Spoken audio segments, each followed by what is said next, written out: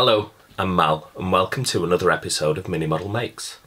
In today's episode I'm going to go through the uh, Reaper Dark Heaven Bones Graveyard Golem miniature. So this is a new one for me, this is my first Reaper miniature I'm seriously going to review. And what I'm also going to do is I'm going to tag on a painting guide to this as well. So as well as this little unboxing there's going to be a painting guide on, on how I've painted it up. I've bought this as my family are doing a D&D campaign with me and I'm going to do a special one-off campaign for Halloween which is coming up in about a month's time at the end of October and this is going to be one of the big bads that I'm going to use at the end of the campaign. I picked this up online, I picked it up from eBay. It cost me $7.99 and I got it from MG underscore products. So check them out, they sell quite a lot of Reaper Bones miniatures. So without further ado, I'm going to get my overhead cam set up. I'll unbox this, go through the parts, and then after that I'll do the painting guide. What I will also try to do at the end of the video is pop this up when it's painted onto a little turntable so you get a better look at it as well. I'll crack on. Bye for now. Graveyard Golem, Dark Heaven, Bones. So it's Reaper Miniature. Looking forward to opening this up. As I said on my intro, I obtained this from MG underscore products on eBay. It cost me $7.99 here in the UK. Free post, that's including postage. This is good. So opening up the pack. And this is the first Reaper Bones miniature that I've seen, which has got multiple parts. So we have the body of the golem itself. Quite a nice sculpt. It's been made from all the monuments and tombstones that you'd find in a graveyard. It's got sort of little cherub faces and other bits and pieces on it. And a stone gargoyle there on the shoulder. Nice solid earthen base as well for it. Then we have one arm which includes another monument which is sort of like a bit, looks like a bit of a shield. Uh, it's only going to go one way if you look at the fittings on the actual model. There's a little lug there which means it has to go on like that and exactly the same on the other arm. Quite a big flash line there I'm gonna have to take that off.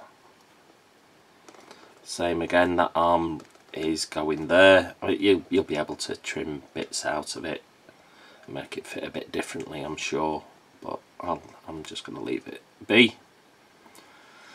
And then what we have is the just put that to the side. We've got sort of the iron gates of the graveyard. Here. And they slot into the back of the model. Sort of acting as wings. Quite sort of soft and malleable. They looks like they can go in either way but there is only supposedly one way for them to go to be like that so be careful if you're putting these parts in. That'll be the gates on the back. Sort of acting as wings.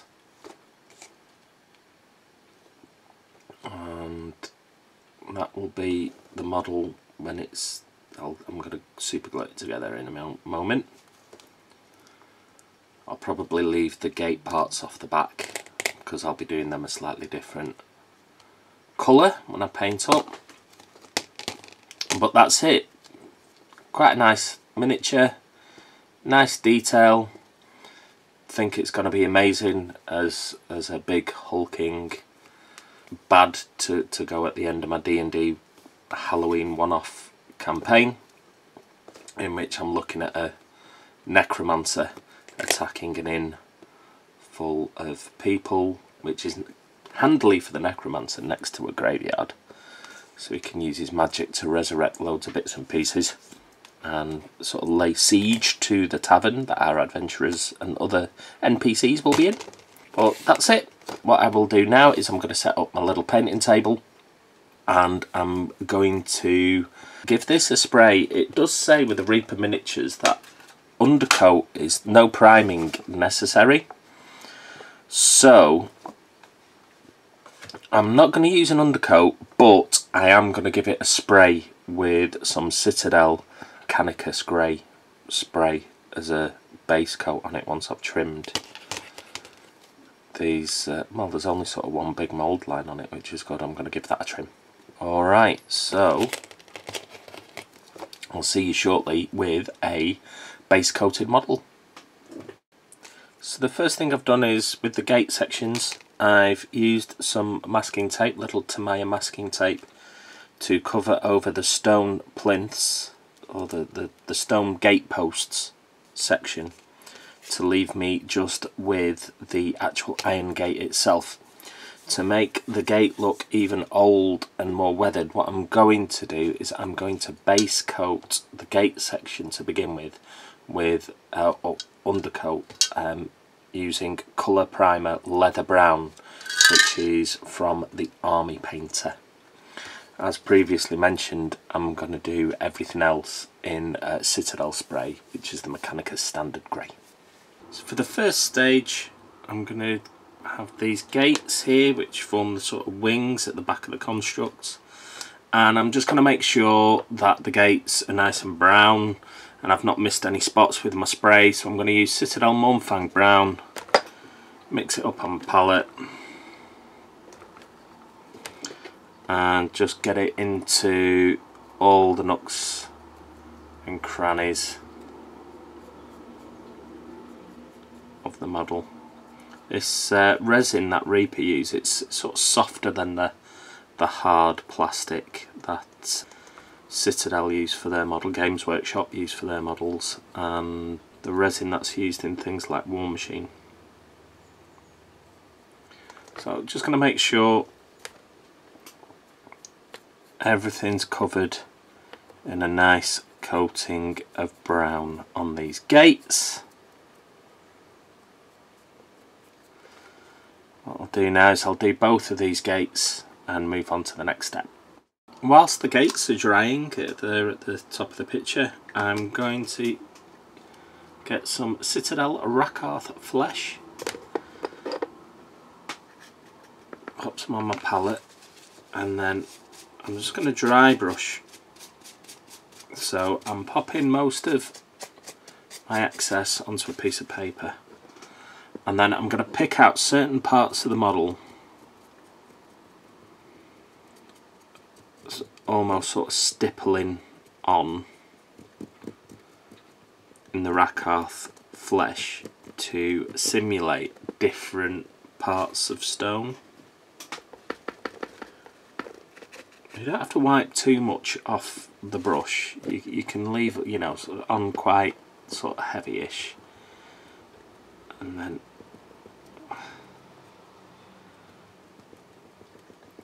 I'll stipple it on. So I'm going to go for things like the angel here.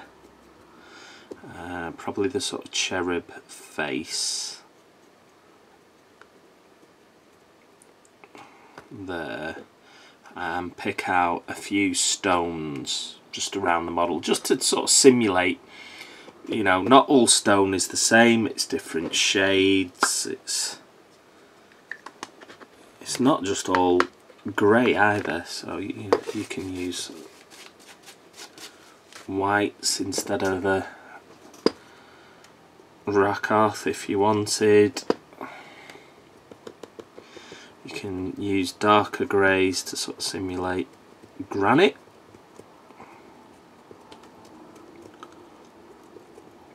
So this is kind of acting like a shield for the model. Sort of stippling, dry brushing it quite heavily on. Not too bothered because I'm going to put wash over it shortly anyway. So I'm going to pick out a few more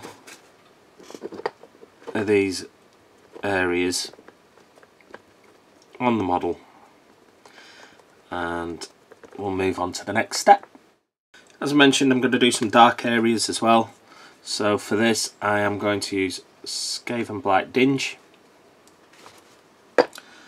same technique as with the Rakarth, I'm going to pick out a few areas of the model. So for this one, I'm going to do the cross, which is his hand.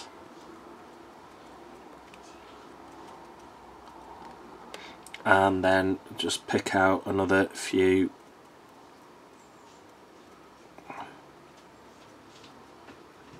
Areas of the model. Some on his foot there. And I'll do some of the stones on this arm. Same again doing that sort of dapple dry brush technique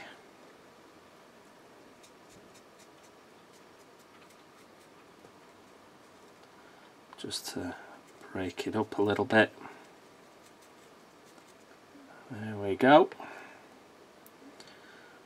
and I might do this gargoyle on the top of his shoulder too.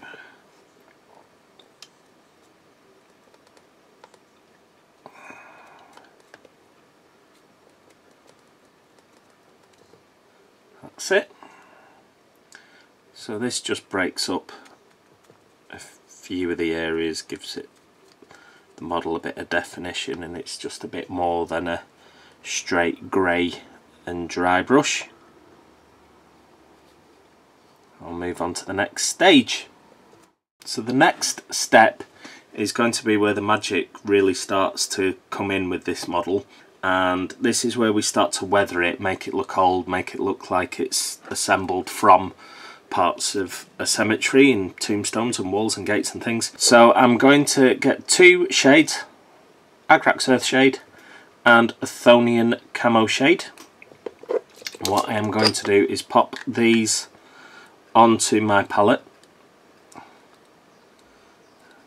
So that's my Agrax there, give that a wash, that brush. Get my Athonian Camo Shade and I'm just going to pop that in the opposite corner.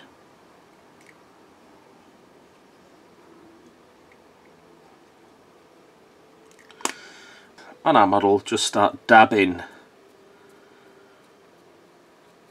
the shade all over the model. So there's some Ath Athonian camo shade. You don't have to wash your brush between stages for this. And then the Agrax going in and some of it sort of overlapping, some of it not. Back to our camo shade. That goes over the top of the model there. Agrax overlapping there. And we're just going to pop this all over our model.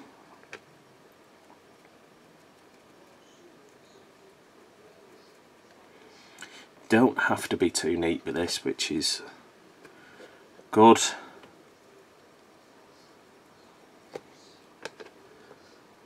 Because we're really giving it that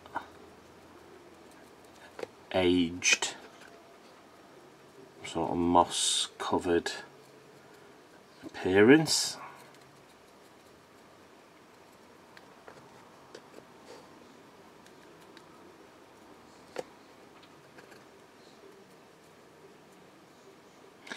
I am going to carry on and just finish off all the areas of this model and get back to you shortly. For our next stage now I am going to use Citadel Layer Dawnstone and this is going to be a dry brush over the grey areas of the model. I'm going to try and leave the lighter areas of stone alone. You see all the wash has now dried quite nicely it's given it sort of a natural effect there. Look like old tombstones, old things you'd find in a cemetery. I'll get some Dawnstone and using our tissue paper, gonna make sure I wipe most of that off our dry brush and then making sure nicely in shot. Gonna run this gently and quickly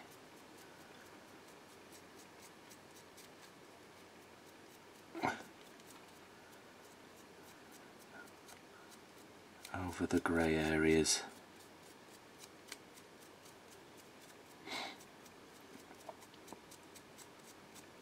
Really worth being patient with this. I know it doesn't seem to make sense wiping nearly all the paint that you're using off but you don't want to ruin it by having too much on.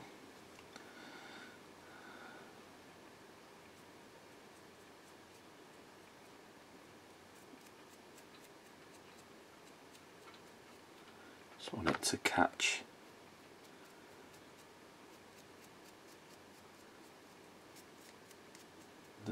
areas.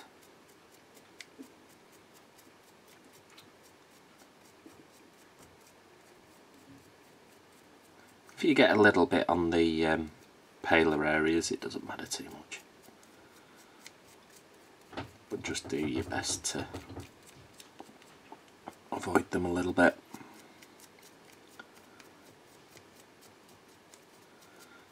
As you see, without much effort, we're starting to get the effect that we're looking for.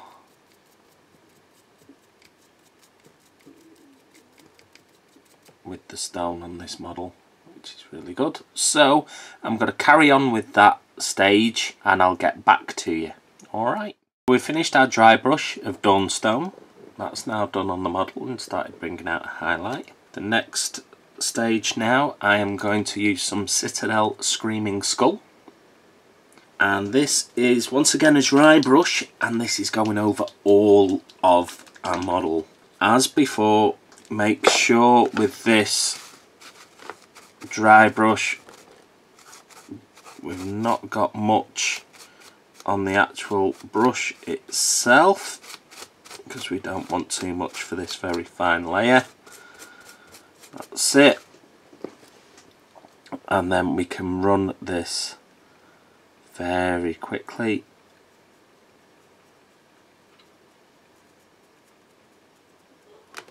Over all areas.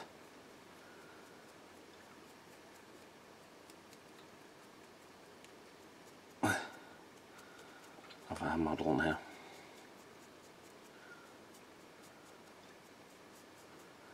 Really works to bring the whole model together. With all the dry brushing on this it works to be or pays to be methodical so first of all I'm going to make sure this arm is done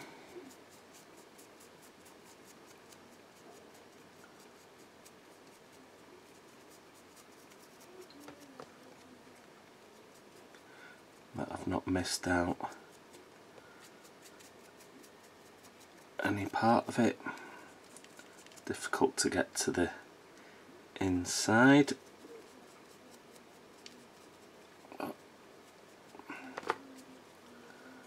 In there.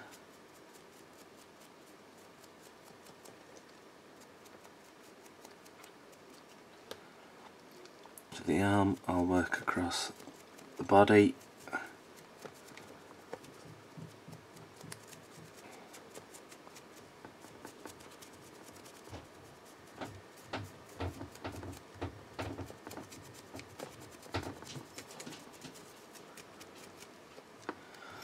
and I'll do likewise with the back and the other arms. So I'm going to carry on with that stage and I'll meet you at the next point.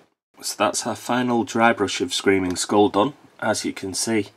It's really starting to take effect now. That's the actual body of the model pretty much done and dusted. Really does make it stand out. So what I'm going to do now is work on some of the detail of the model and the base as well. So we want to make our base stand out from all the grey. So I'm going to be painting it a brown colour and I'm going to use Rhinox Hide. Water it down on our palette. Always use your palette. Helps you control your paint. Use the actual base of the model there and just go in to paint all around the stones and the edge of the base. These Reaper models they come on a moulded base which is really good. You don't have to worry about putting sand or any kind of basing material down on it. And as well as the actual base itself, so may need a couple of coats of this because I'm doing it nice and thin. The bottom of the model, you can see it's got little skulls. Trying to get it in shot, sorry. Little skulls in there and there's a few dotted around the model itself on top some bones here as well. I'm going to paint those in the brown too.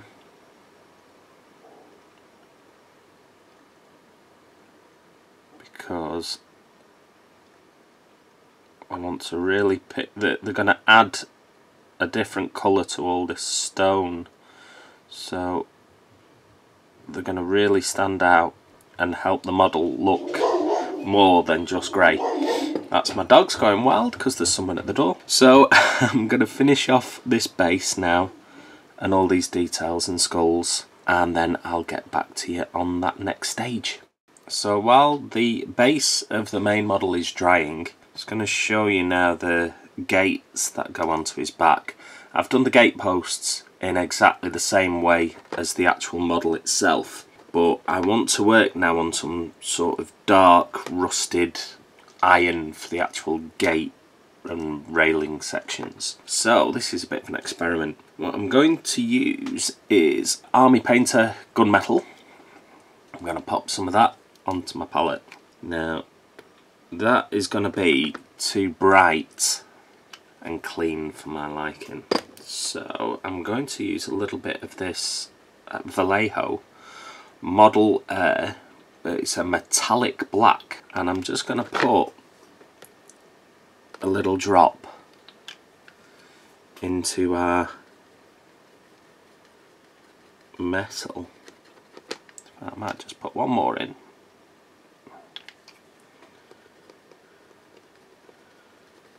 Just to bring it down and make it bit darker. I think that's looking alright there. And then with that once more it's dry brushing. So don't need to water down the paint. I just need to get most of it off the brush again. We're going to get our gate section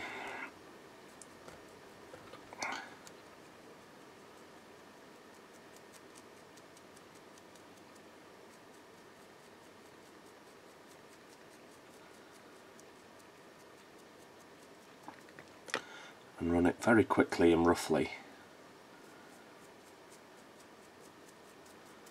over the railing sections. It doesn't matter if you leave some of the brown coming through because it's actually sort of looking rusted and weathered because of that which is quite good. This um, resin's really soft. Hard to dry brush these gate sections. Try and make sure the points are really nicely done and that I've got the underneath of these sections.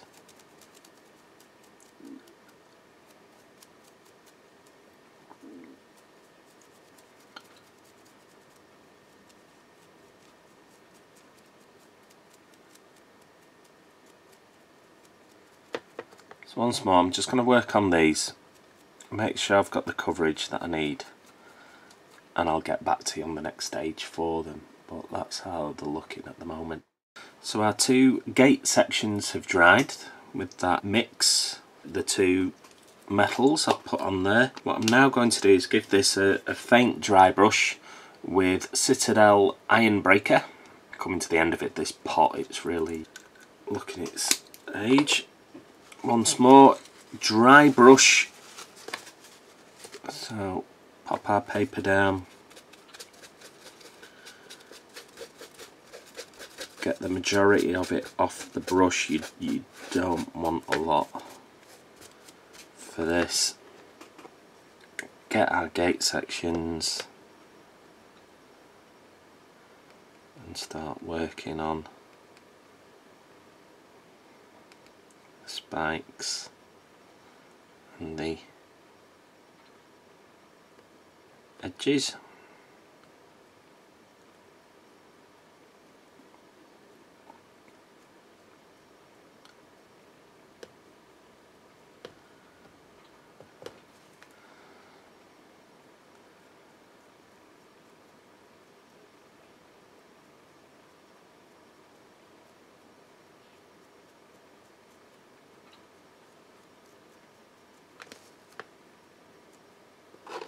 So I'll try and put them side by side so you can see the difference in the stages. Just picking out those edges, just popping that little bit more. So our next stage with these gates is to bring the colours back down again, bit of definition. So I'm going to give it a wash. We are using Citadel Agrax Earthshade, which is by far the best shade that Citadel do. It's literally li liquid talent in a pot. And just going to run it over these areas. Try and sort of wipe it off the flatter areas. trying to leave it, you know, around the studs that are in the gate where it meets the gate post there put a little bit back onto especially the underneath of the spikes make them stand out again give them a bit of definition. I'm going to do exactly the same on the other side now. So almost like a pin wash around those areas. The underneath of the spikes.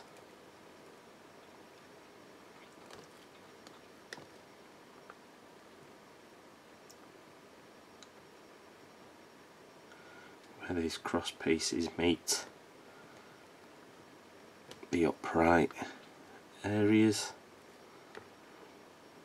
And where the bars go through this one as well underneath there. Done that one, go and do the other one and then I'll get back to you. Our next stage is to use Citadel Dry Necron Compound. This is going to be a really faint dry brush. If no one's ever used the dry paints, they're actually sort of almost rubbery, they're not very liquid whatsoever. Just get a little bit onto your brush, same again we want to make sure we're wiping lots of this off. We do not want a heavy dry brush with this Necron compound. And then what I would like to do with this is just pick out some of the angled areas like the top of the spikes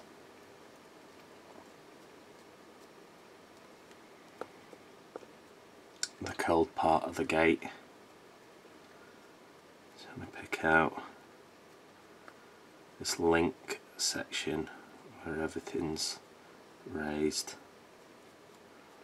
Now with this Necron compound, less is more. So you don't want to go too mad. We're just picking out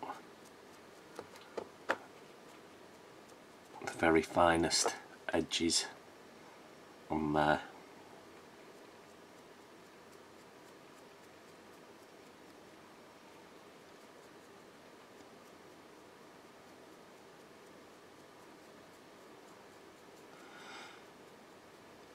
I'll carry on with these two sections and then I'll get on to the next stage. So that's our Necron compound dry. Good thing with the dry brushing in these dry paints is it doesn't take long for them to be dry. You're not waiting very long on that stage. And then what we are going to do now is just add a few more technical effects to the gate to make, I mean it is already looking sort of quite old and weathered and rusty but we're just going to add a few more things. So the next stage I'm going to use a little bit of the technical paint Typhus Corrosion and pops, pop it on the palette. What I want to achieve with this is I'm looking at the areas sort of around where the hinges would be. You know as if they've been sort of smeared with grease. Just left to their own devices. You can also do with this typhus corrosion is around where you've pin washed the little bolts and things you can give it a bit of a touch up and where some of these links are.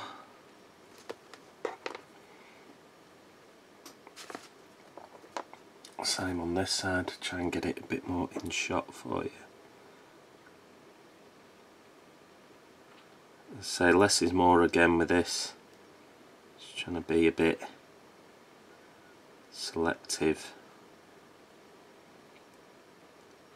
of where I'm putting the corrosion.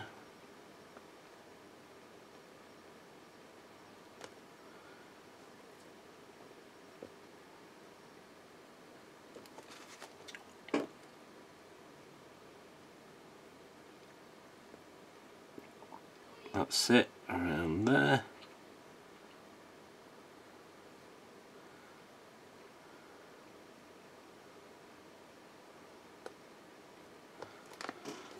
do exactly the same with the other gate and we'll move on to our next stage. So that's the typhus corrosion on around there now.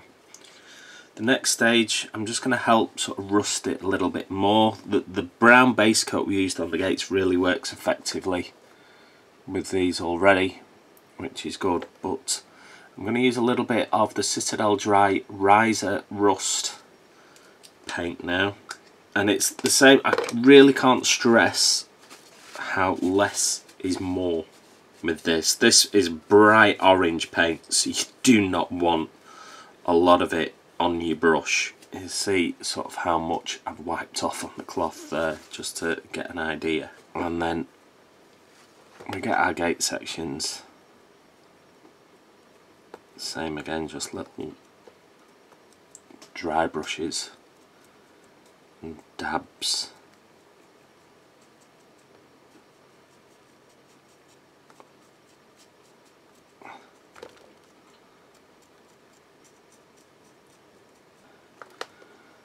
around the sections there of the gate you can see you, you're getting that sort of rust. It's not the best rust effect in the world. There are methods with oil paints and streaking and and there's there's a lot of different paints out on the market. But for the fact that it's a couple of quid and available in a lot of hobby shops and takes little to no effort this Ryza Rust isn't bad especially for beginners I'm just to put some more on my brush. Really go to town wiping it off because it is such a strong orange colour. You've got to be careful with it. So you don't sort of want it to be looking like you've just daubed orange paint on. You want it to really look like it is rust starting to take hold. That's the kind of effect that we're looking for with this. So I'm going to put the two gates side by side and you can see the difference now with that just that little sort of smattering of Ryza Rust on it it does make it look more weathered. Kind of what we're looking for with these gates. And that's it. So I'm going to do the other gate now, finish that off, and we'll move on. So our gate sections are now finished. We can move back onto the base of our graveyard golem. And I'm going to be using Rakarth flesh again. It's another dry brush, lots of dry brushing in this video. I'm Going to make sure it's mainly off the brush. I'm using an old small brush so I can really get into the sections on the base and just very lightly going over the detail and base area of the model. So I'm going to carry on with that and we'll move on to the next stage shortly. So our next step now is to pick out some more of the detail around the model and on the base, which is all the skulls and bones that come with this model. So what I am going to use now is some Citadel Layer Ushabti bone. I'm going to mix some of that onto my palette, add water, try and get my palette in, I'm adding water to it. So that's got a nice consistency. And I'm going to be in control of the brush using a smaller brush and I'm picking out the skulls. So as you can see there is a skull.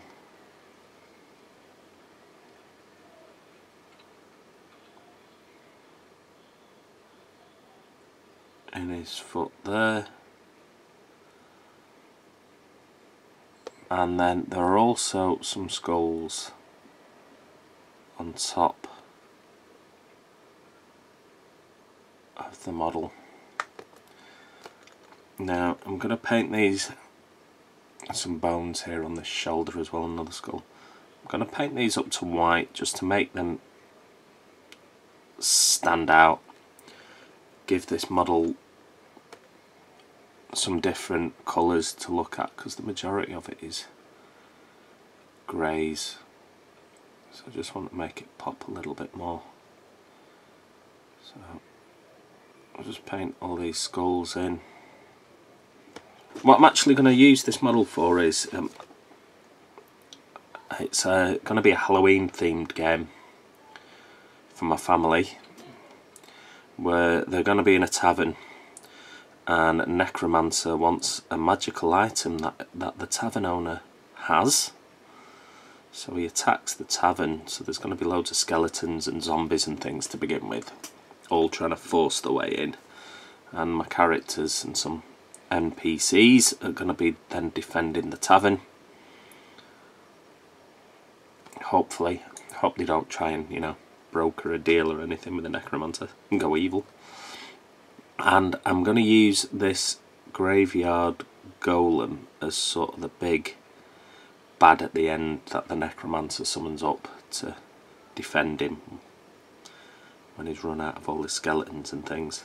So I'm going to use him very much like the stats for a stone golem because there's no graveyard golem in the monster manual at least not that I've seen. So yeah it's going to be a, a stone golem have all the stats for that because it kind of fits really nicely. But I'm also going to sort of make him a bit graveyard themed so he's going to be resistant to things like necrotic magic as well. So I'm going to pick more of those out give him a couple of coats because it's quite thin and I'll get on to the next stage so we're now going to shade in those skulls. Once more, it's good old Agrax Earthshade. Some on palette to control it, and I'm just going to pick out the skulls and bones all around the model. Don't forget the big rib cage section which is on his leg here. So I'm going to finish that off and then it'll be the next stage. Final stage now is to pick out those bones. I'm going to use Pallid Wych Flesh now for this. I would normally use Screaming Skull for skeletons, but I use Screaming Skull to dry brush the stone areas, so I just want to make the skull stand out a bit more. I'm trying to give the model more colour, more things to draw your eye to them, so I'm going for a very bleached bones look. Just take the wings back off because I've not glued them on yet. So we've got the skull up here, just using a small brush and picking out the raised areas of the model.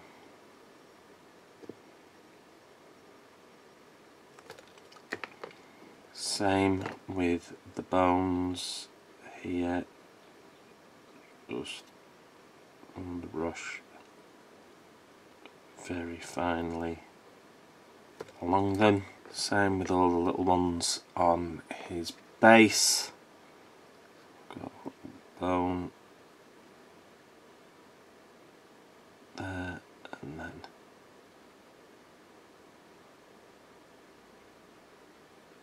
concentrate more on the the raised areas of the skull if you can. So I'll pick out all the rest of those now and that will be our model finished by gluing the gates onto his back. So the skulls are all picked out, finished off and that is our completed graveyard golem. I'll zoom out a little bit so you can see him. Pop him onto my little turntable and you can get a proper look at him then. But that's it, really quick, really effective paint scheme. Took me less than a day to do and looking forward to using him in my game with my family. I think he'll be a pretty cool model to use and hopefully they'll appreciate it.